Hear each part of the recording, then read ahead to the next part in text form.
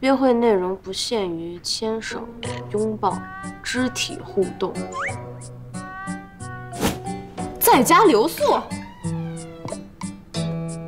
苏姐，你不会是又想解约了吧？这样的合作绝对不是为了应付催婚这么简单。我看他就是想利用苏锦的流量变现，为自己谋利吧。有这么复杂吗？喂，姐，当红炸子鸡给我们发来了直播邀请函。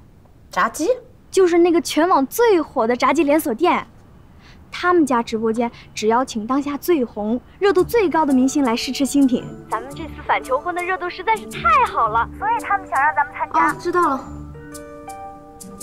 这看起来好好吃啊。苏姐啊，你说的果然是没错呀。这次直播间邀请的是你跟穆总同框，以锦绣夫妇的名义直播，而这家炸鸡公司幕后的投资商正是穆氏集团，他们果然想利用小锦赚钱。算了，咱们拒绝。不，我不仅要去，我还要续约。我现在重新拟定一份合同，把该是我们的东西全部拿回来。啊，我现在说的够清楚了吧？你说你早说清楚不就得了吗？那小锦脾气性格活泼开朗一些，那我不也喜欢也高兴吗？行了行了，但凡你们俩不是闹别扭啊，我就放心了。等你们结婚以后啊，这财产就得按法律重新分配了。我得去看看公司继承法。你们聊吧。嗯。热搜了，苏锦求婚是怎么回事？为什么这剧本没人告诉我？嗯嗯，他跟我说是为了事业转型。什么为了事业转型啊？不会这种话你都信吧？你清醒一点，你看看我，一个女生，突然有一天开始改变她自己，那肯定是因为有心上人了呀。他就是看上你了，故意引起你的注意啊。你心上人是谁啊？我心上，完喂了，完了。有心上人。好了，大小姐，我还有约会，我先走了，高林哥，拜拜。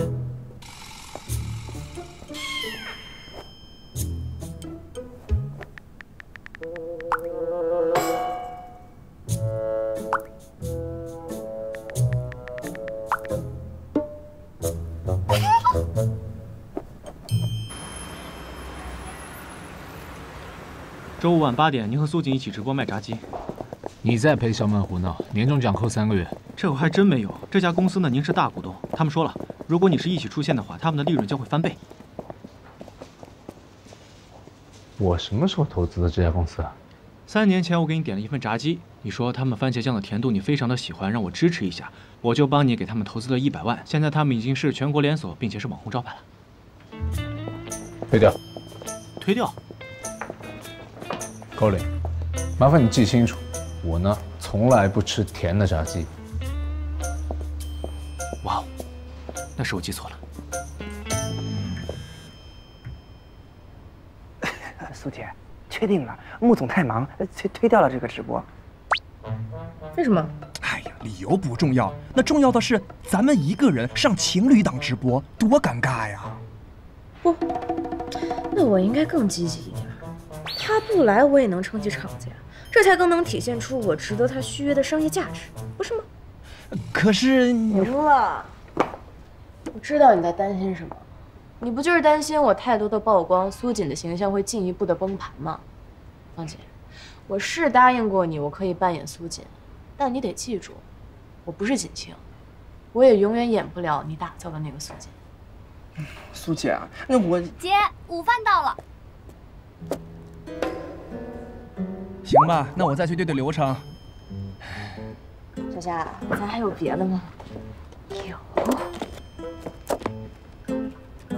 随便挑。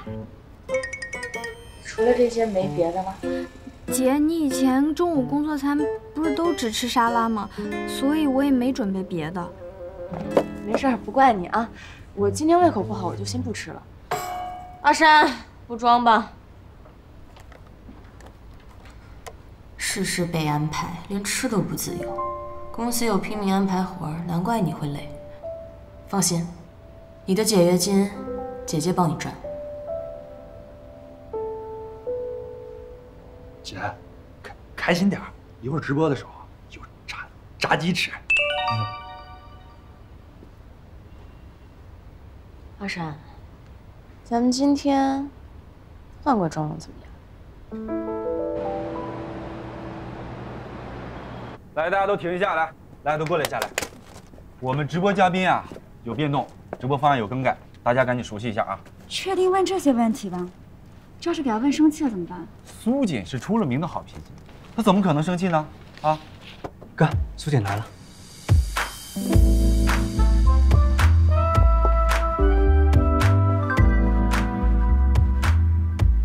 你确定这是甜美小白花？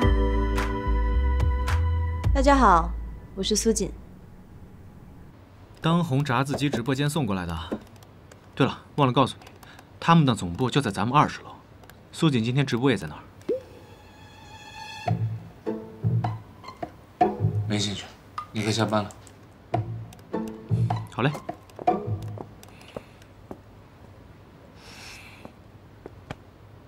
苏锦，我让你去看看小满的情况，怎么？你现在已经有结果可以汇报了，是吗？告辞。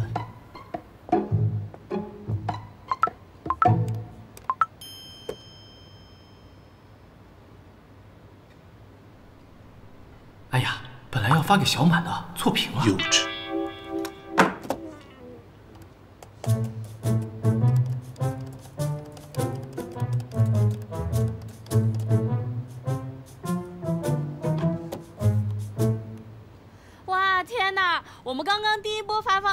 券已经被全部抢空了，感谢各位网友们的厚爱。好的，小姐，我们小景，看这边，前面这台机器，对，正前方。嗨，大家好。哎呦，我们本来不仅邀请了小景，还邀请她男朋友和她一起来，但是呢，很遗憾，最后穆先生没能够来到现场。能方便透露一下是因为什么吗？哎呦，他太忙了，很抱歉啊，让大家失望了。呃，我下一次，下一次一定带他过来。收到，收到。这个主播问的跟我们台本上对的都不一样。前段时间小景因为求婚的事情上了热搜，我们都很好奇小景为什么会做出这样一个选择，好像小景很着急哦。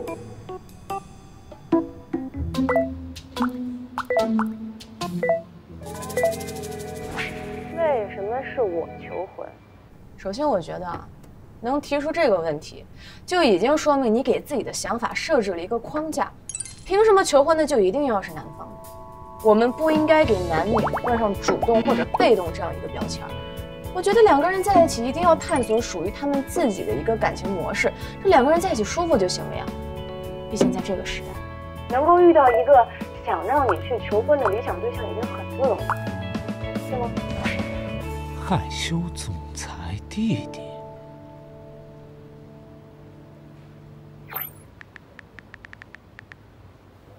是。我这个时候发弹幕，会不会显得我太幼稚？我们小景说的特别好，哎，我也非常认同苏姐你的爱情观。你的转型是非要建立在我形象崩盘的基础上。不行，我要让人看看什么才是真正的男性魅力。我怎么能输啊？和小景聊了这么多，下面要进入我们今天真正的主题了。小景作为我们今天的新品试吃官，要为我们试吃新品炸鸡。哎，麻烦助理把那个炸鸡上一下。家庭很开心啊，比刚刚玩你男朋友还开心。那当然，这是我今天最期待的一个环节，我一秒都等不及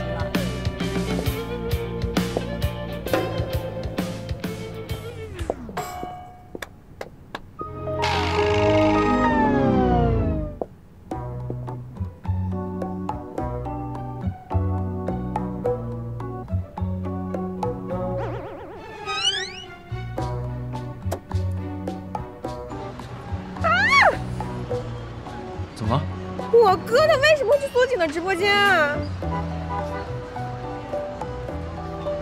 你过来，快，快快快，过来看。穆总，你怎么来了？完全可以放心把这交给我去营业。你可以吗？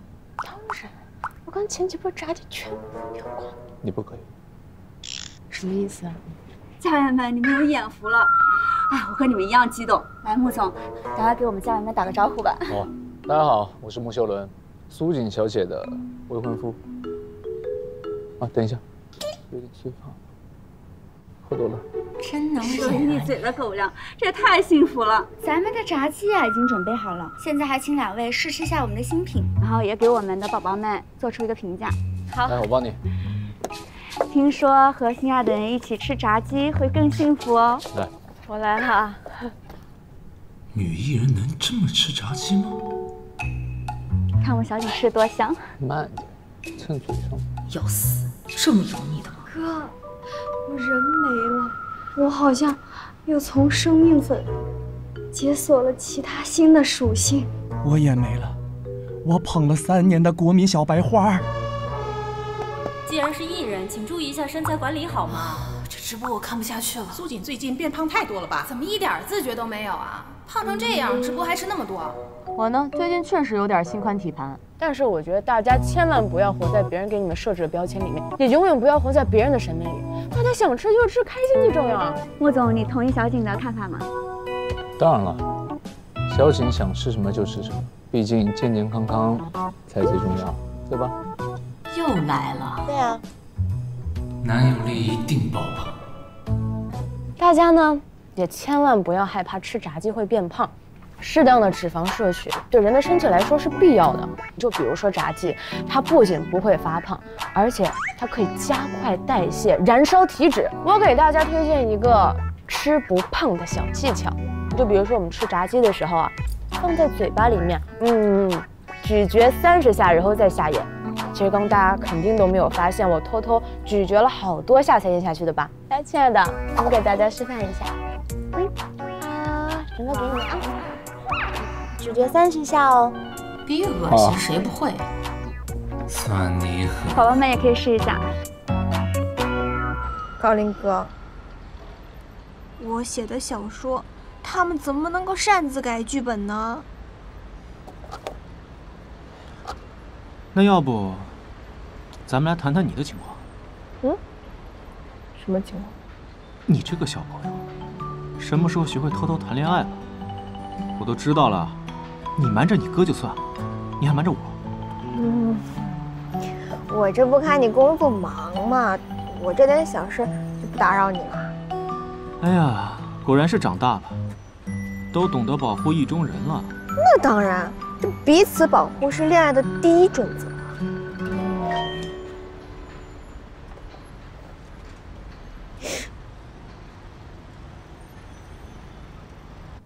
不是弹幕还没处理好吗？我们在尽快的增加关键词去屏蔽，但是说实话，网友评论自由啊。哎，这是怎么了？炸鸡被全部卖空了，啊，还预定了明年一年的量，已圆满完成任务。天哪，宝宝们不敢相信啊！我们刚刚有个匿名用户已经把我们的炸鸡全部抢空了。这位粉丝宝宝说他非常喜欢小景，他是小景的粉丝，也非常支持你哦。他说小景直播辛苦了，那我们大家一起感谢小景，谢谢这位粉丝啊。那因为我们炸鸡提前卖空了，那我们这次直播也得提前结束了。哦，是不是还没吃够？那我们小景再给大家说两句吧。嗯，哦。嗯，首先呢，谢谢这位朋友啊。不过呢，我还是得说一句，理智消费，不许浪费粮食。下一次不许这么做了啊。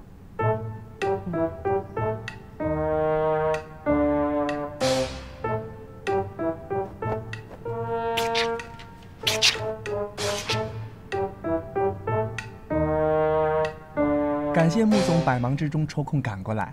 这次直播数据啊，一定会非常漂亮。还剩一个月的时间，怎么管理好苏锦？希望你自信留说。是是是是是是是。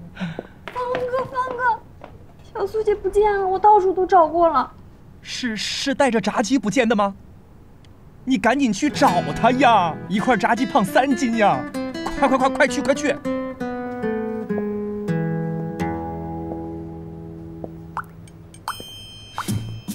这还不赢？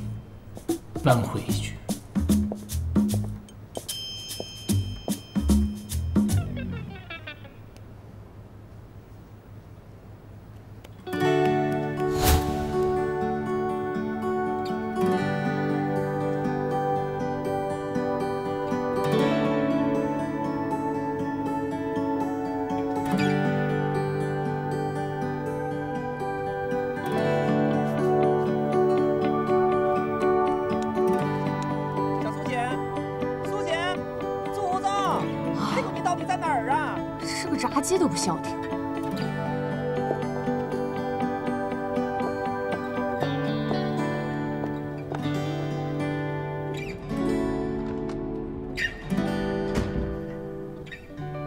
穆小马，过来。哥，你有话好好说。我这都大学毕业了都，你不能要求我跟你一样一直不谈恋爱吗？我，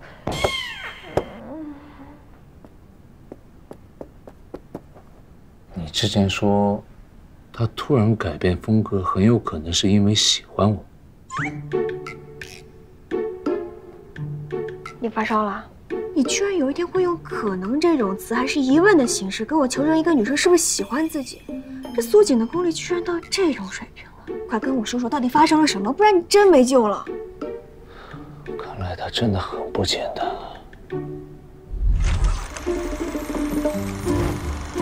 非常努力，那我建议你换一个。就像你说的，他突然改变形象，以全新的风格面对我，很有可能就是为了吸引我的注意。改变形象的路这么多，偏偏选了最奇怪的一条。倒也不奇怪，女生太瘦了不好看，她这样其实还可以。啊？审美问题不代表我会对这样的她产生任何想法。说重点，为了进一步吸引我的注意，她开始打破我的规则。欲拒还迎，然后在公众面前和你求婚确定关系，这心机也太深了。没那么低级，他现在用的。应该是心理学的吊桥效应，让我的大脑错把惊吓当成对异性的喜欢。你当时心跳加速了？怎么可能？见我没有上钩呢，他就把之前所有的行为归结于转型和充分发挥自己的商业价值，然后借由网友的评论激起我的好胜心，成功把我引到现场之后，他又……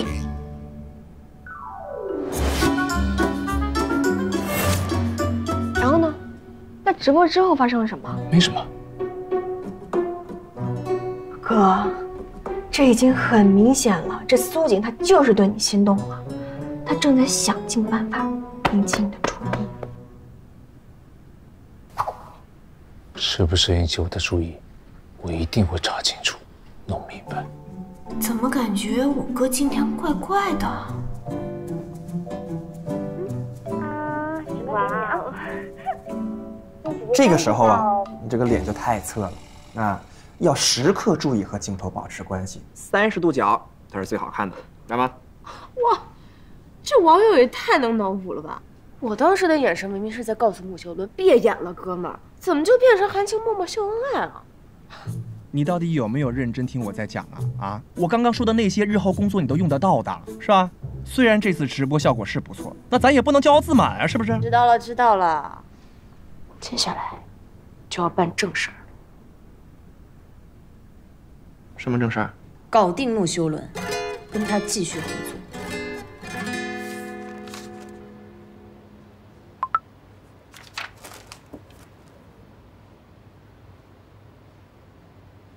哎，穆总啊，哎，不知道您最近忙不忙啊？小景啊，想约您见面。越快越好。这么想见我？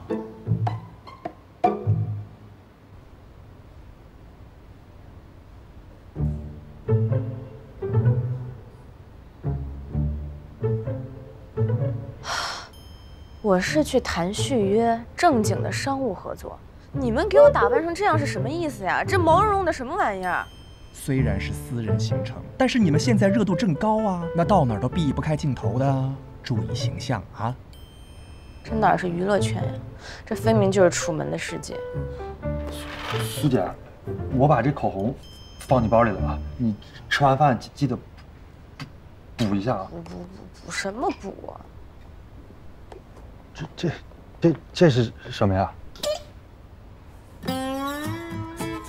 你们都给我穿成这样了，还不让我带着男朋友保驾护航啊？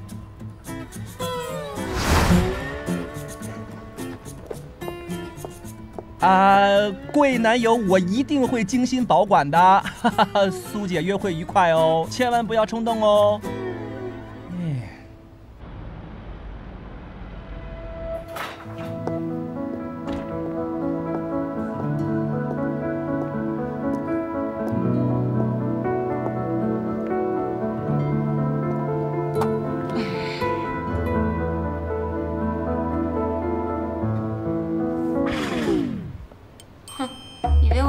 一把锤子吗？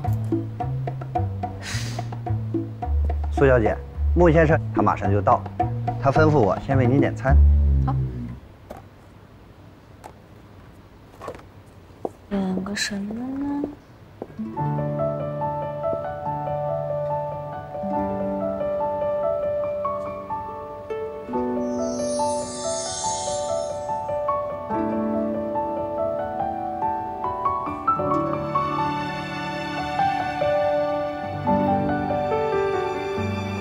的澳洲龙虾，要品相最好的。冰岛生蚝给我来一打，挪威三文鱼两克，帝王蟹、深海虾，我觉得你们看着搭配吧。陆先生，有个事情。好的，请稍等。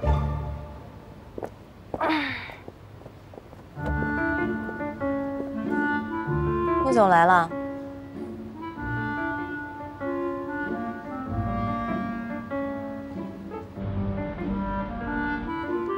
开门见山吧。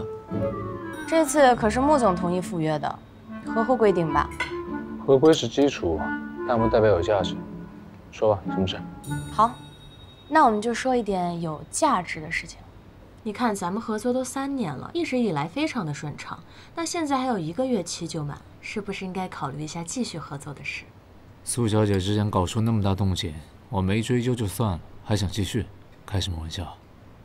我有这个自信谈，因为我是不可替代的。说说看。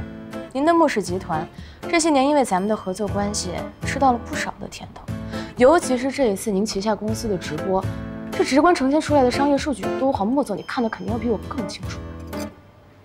那其实照你这么说的话，我大可以随便找一个其他女明星来合作不就好了？女明星是很多，但是你看像我这样的年龄、出身背景的，找不到比我更合适的。我还可以找其他行业的优秀女星来配合我应付家人。凭什么苏小姐就说您是最合适的？你说到重点了，咱们这合作呢只剩下一个月了，你在这个时候却突然安排到了求婚这一步，想必应该是有不得不这么安排的理由吧？比如应付家中长辈的催婚。如果这个时候停止了合作，莫先生恐怕要面对的是卷土重来的麻烦场面。你们兄妹俩哈，照着你爸走的早，我就回来求我的爸。还是你最孝顺妈就知道。威胁我？客观分析利弊，综上所述，继续合作，对你，对我，都好。当然了，这一次呢是我主动提出的合作，所以后面的工作我一定会认真对待的。苏小姐啊，苏小姐，我们认识也应该有三年了，但我怎么觉得好像这几天才认识真正的你啊？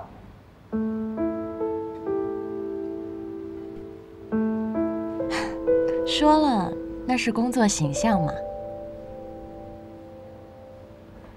你到底想怎么样？我希望我们的续约合同内容可以有所调整，除了那些资源，我要公司的股权，分红方式由双方协商，具体的细则呢我已经拟好了，芳姐她会发给高秘书看的。你要多少钱啊？对，没别的，尽量多的钱。只要钱那就好办了。其实继续合作的事，我之前也有考虑过，所以早就拟了一份新的协议，里面加了一些新的条款。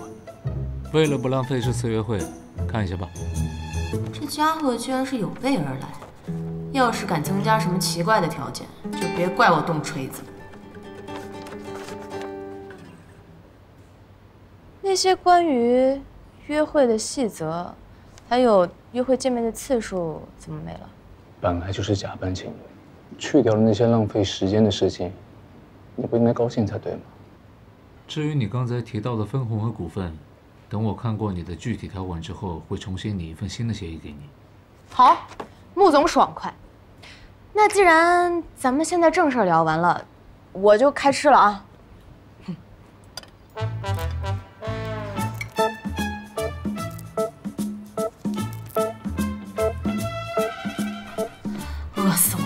天天水煮菜，好久没开荤了。嗯，对了，穆总。我前不久换了联系方式，我们加个微信吧。我加你了。哦。Doctor 苏。那那个是因为我我特别喜欢有一句谚语叫做 “an apple a day”。一日一苹果，一生远离我。我特别喜欢吃苹果，这点杂回数啊，每个人都要多吃苹果，这样。嗯，你看，你也吃了，别开始了啊啊！健康，健康。那走吧，外面还有记者在拍，我送你。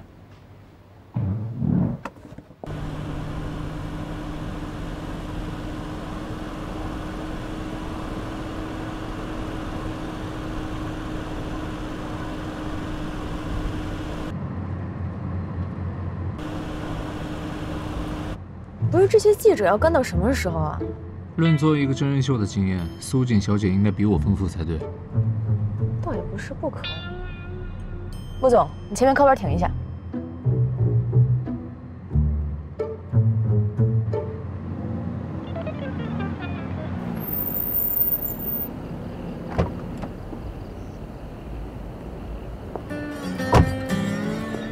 哥，苏锦是不是朝我们这过来的？不可能，他什么时候敢直接跟我沟通？不是哥，你看，好像真要过来。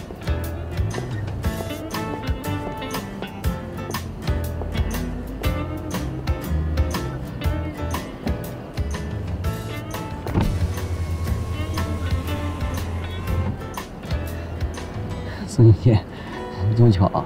巧，不是你们跟踪我？怎怎么可能啊？别紧张，我今天呢是来告诉你们一个大独家。等一下我跟我男朋友要开车去野外，能不能拍得了，就看你们跟不跟得上。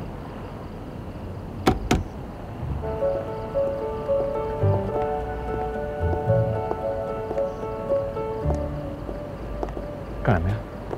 穆总，你坐那边去，剩下的我来开。资料里写你不会开车，那是人设呀，穆总你就放心交给我吧。我一大男人，我还需要你保护什么？男废话。哎，干什么呀你？喂，喂，赶紧上车。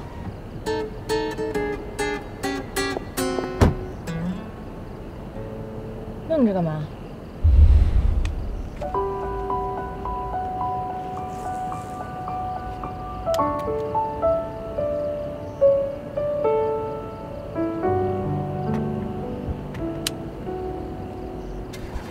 稳了。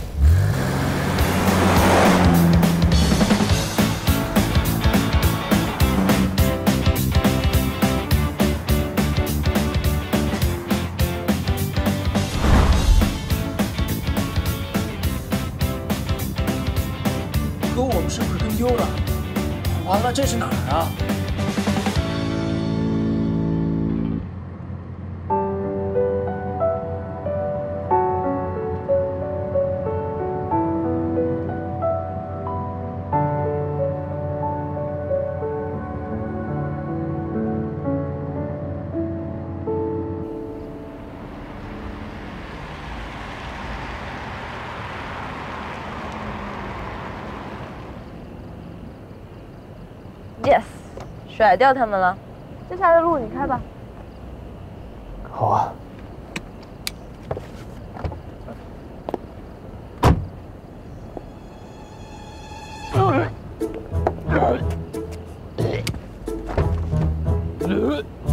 我说过很多次，我最讨厌的就是意意外。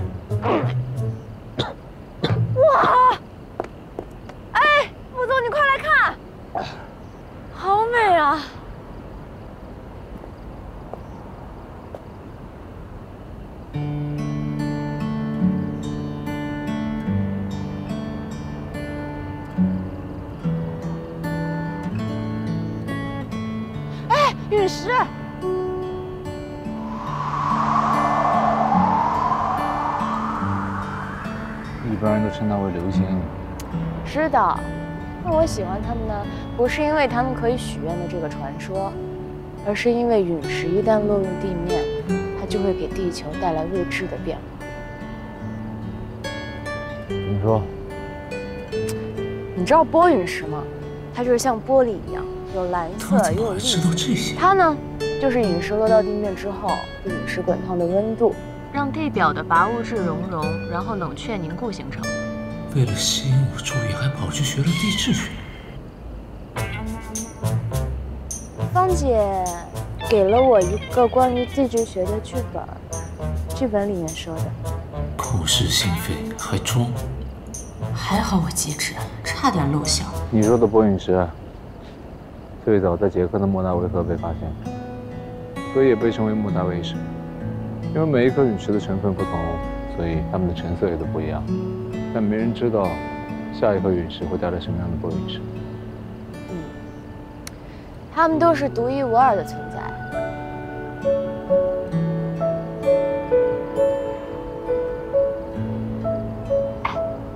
咱们反正也不着急，看会儿星星再回去。就知道你动机不纯。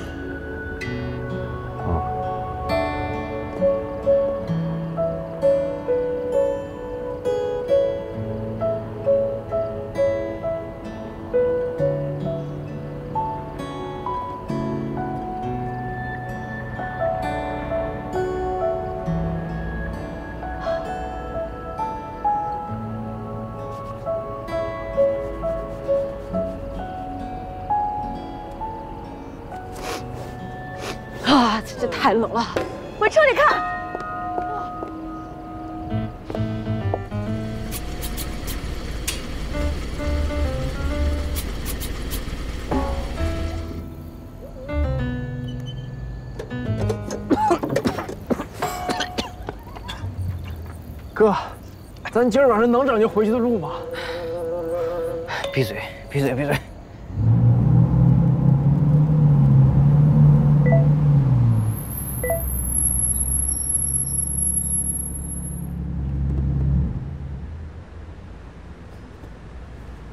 我锤子呢？到了，没有狗仔了，我就不送你上去了。穆总，关于咱们新合同拟定的方案，咱们下次能不能还是约在家里这种私密性高一点的地方见面，以免你说。我认为我们的合作不用继续了。什么？我一般话不说第二遍，但鉴于你现在的心情，我说最后一次，合作不继续了。后续解约的事，高领会找你。时间还剩下一个月零三天，接下来还需要苏小姐多多配合，我们好聚好散。你既然都这样了，还有我什么需要配合履行的？例如你拒绝求婚又反求婚，这一系列逾越合作关系造成的后果，我希望你和你的团队给我一个完美的解决方案。否则的话，需要赔偿什么，你心里应该很清楚。还有，我希望我得到的是一个对我本人和我公司没有任何影响的解决方案。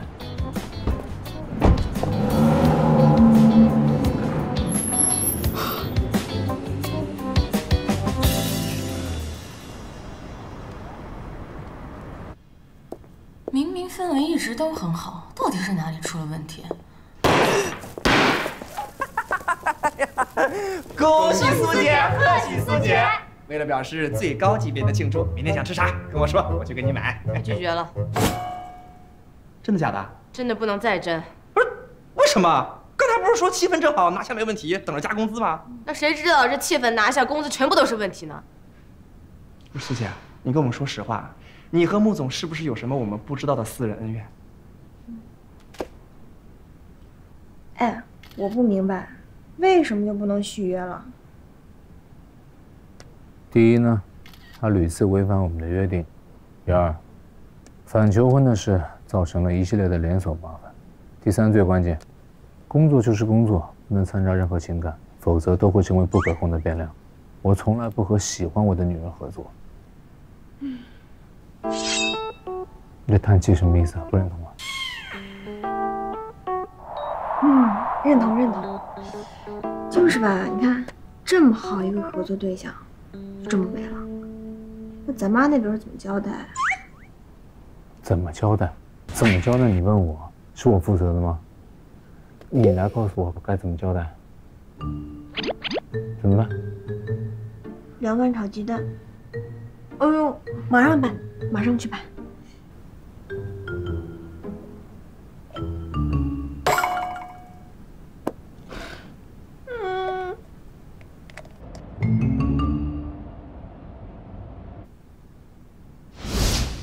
现在怎么办啊？约是要续的，但我要让他穆修伦求着我来续。呃，让我来听听学霸的计划是什么呀？我从小到大想要做成的事情，从来没有掉过链子。你知道上一个不想跟我合作的人下场是什么吗？呃，葬身在你的地质锤之下。更惨，生不如死。那个人比我高五届，至今没有毕业。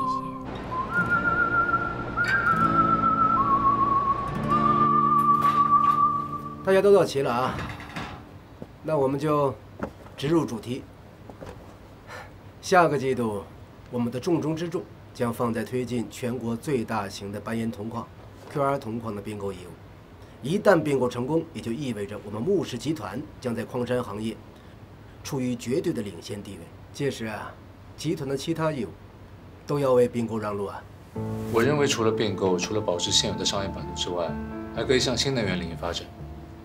在民用市场里，高镍电池呢是现在分头最近的新能源。就像燃油汽车离不开燃油，电动车离不开电，而电池中镍元素的多少，则决定了电池的容量。张部总，蓄电池领域并不欢迎私人资本的介入，我们可以抢先往前走一步，生产镍中间品，也就是电解镍和硫酸镍。秀兰，开展新业务啊，并不像你想象这么简单。其一，需要引进新的设备和人才；其二，公司的现有业务需要调整和重组；其三，就像马董刚刚说过的，裂孔资源的问题，处处可都是高风险啊。但高风险也代表高回报。早在十几年前呢，一国为了振兴本国工业，一刀切叫停了红土镍矿的出口，直到近几年才重新开放窗口，允许部分企业来一国做投资，但条件十分苛刻。而我最近也已经顺利拿下了几个矿山，收购了几家工厂。我反对，公司贸然突进，很容易失去原有的江山，太冒风险了。我也反对，这公司发展到今天多不容易啊！啊，大家的态度呢很明朗了。小穆总呢年龄还是小，还需要多多了解公司。对于新业务啊，我们大家也不要急着下定论。我们还要等等小穆总团队的详细报告。一会儿啊，还有个饭局，就不陪大家呀一起讨论了。秀伦，明天要有时间到办公室咱们私聊。嗯，好。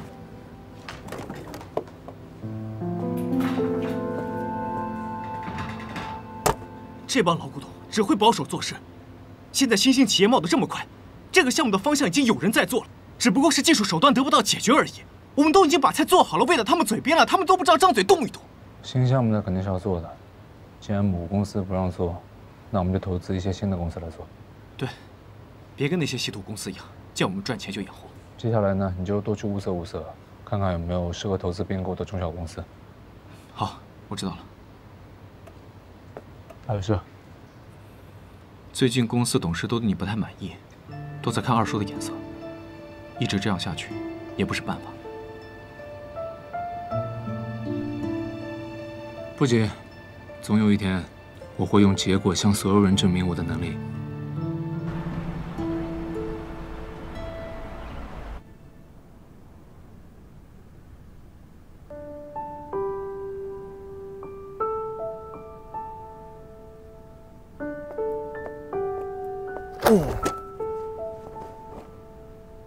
小景的消息吗？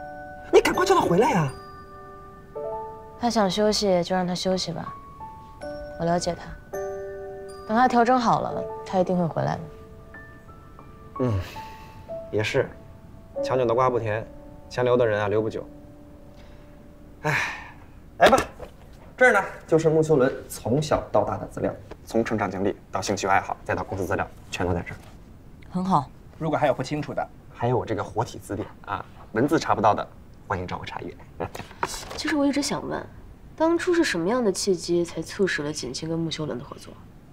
最开始找咱们的呢，其实是他的妹妹穆小满。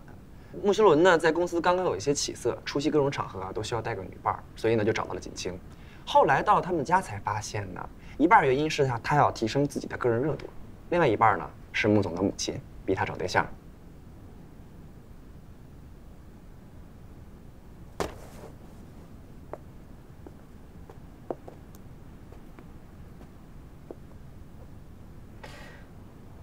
这些年，穆氏集团除了自己的老牌业务以外，他也进军投资了很多其他的行业，比如娱乐行业、互联网行业。那也因为苏锦的关系，让更多人了解到了穆氏集团，也更方便他打入了年轻市场。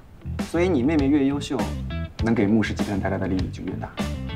所以对他这种煤老板来说，呈现数据才是最直观的。